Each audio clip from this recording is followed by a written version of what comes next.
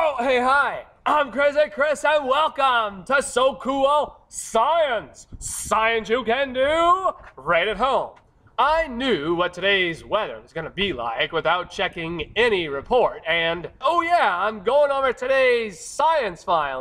Can you predict the weather at home? Well, that's a pretty wicked cool question, so try this.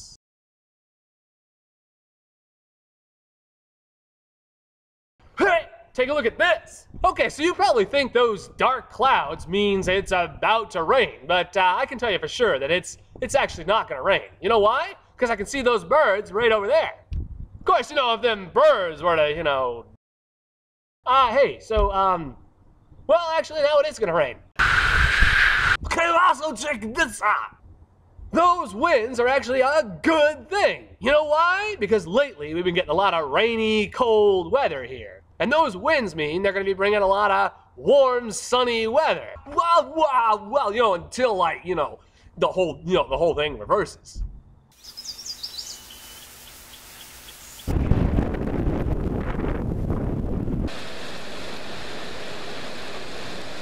you remember to bring an umbrella? Because I didn't. okay, so you've probably heard an old poem that goes something like this. If clouds form at night, Tomorrow will be a delight.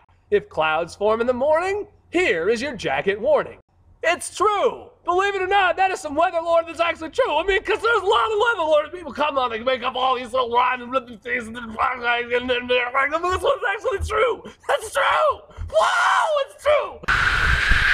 Okay, so how do we know that these weather predicting tips are actually real? Well, don't look at me. Take a closer look at this.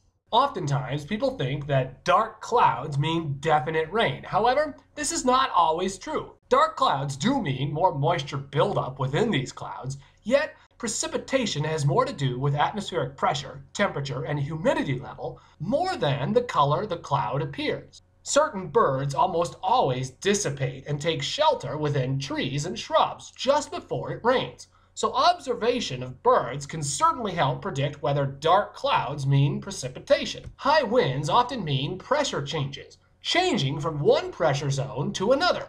Low pressure zones less atmosphere above us. It's cooler and water condenses and forms clouds more easily. Eventually, these clouds release their moisture as precipitation. Higher pressures, just like a blanket or jacket keeps you warm, more air above you means warmer temperatures. Warmer air won't condense as easily, and thus clouds don't build up enough moisture and the chance of precipitation is much less. Clouds that build up in the evening act like a blanket holding the radiated heat within the atmosphere, making for warmer days, especially if these clouds dissipate during the day and the sun adds more radiated heat. If no clouds form at dawn or throughout the evening, the Earth loses its heat to the cold darkness of space.